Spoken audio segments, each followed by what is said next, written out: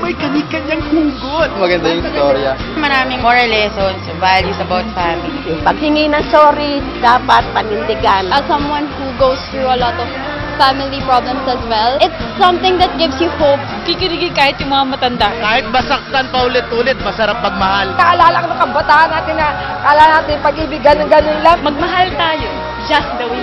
Sulit na sulit, worth it. Just the way you are. Now showing in cinemas nationwide. You brighten my.